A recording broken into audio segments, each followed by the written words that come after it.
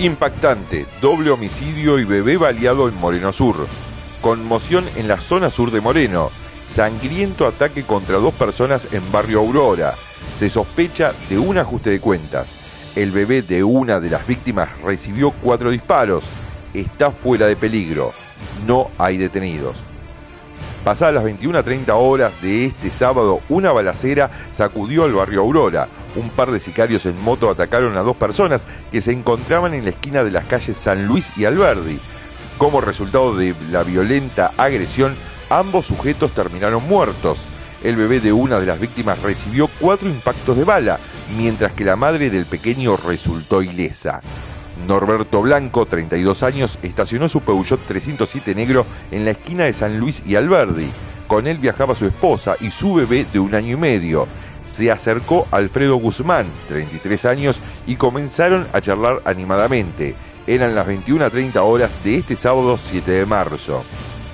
Una moto de alta cilindrada, se presume que una Honda Tornado Roja, apareció en escena. En ella viajaban dos sujetos, al llegar a la altura del Peugeot 307 comenzaron a disparar. Como consecuencia del ataque, Blanco falleció instantáneamente.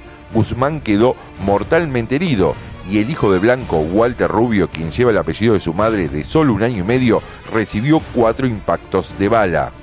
Una vez dado la alerta por los vecinos, arribaron al lugar varios móviles del Comando de Patrullas Comunitaria de Moreno. Tanto Alfredo Guzmán como el bebé Walter Rubio fueron trasladados al hospital Mariano y Luciano de la Vega. El bebé presentaba cuatro heridas, la más complicada está en el abdomen, tiene orificio de entrada y salida. Un plomo lesionó la pierna izquierda, otro el pie del mismo lado y una bala rozó la zona genital. Pese a estas heridas, su vida no correría peligro aunque tiene pronóstico reservado. Se espera su traslado a través de un vuelo sanitario al Hospital de Niños Sor María Ludovica de La Plata. Su madre resultó ilesa y se encontraba al cuidado del pequeño. Guzmán, que recibió cinco impactos, falleció camino al nosocomio morenense. El cuerpo de Blanco presentaba al menos siete heridas, una de ellas en la frente, lo que le habría ocasionado la muerte instantánea. Se presume que los plomos que alcanzaron a su hijo en realidad iban dirigidos a él y que las lesiones que recibió el bebé fue un daño colateral.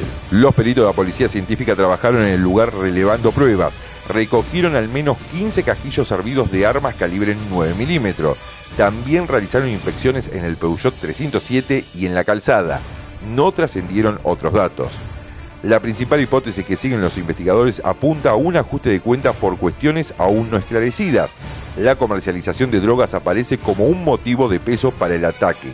Tanto Blanco como Guzmán tenían antecedentes penales y habrían purgado condenas en unidades carcelarias de la provincia.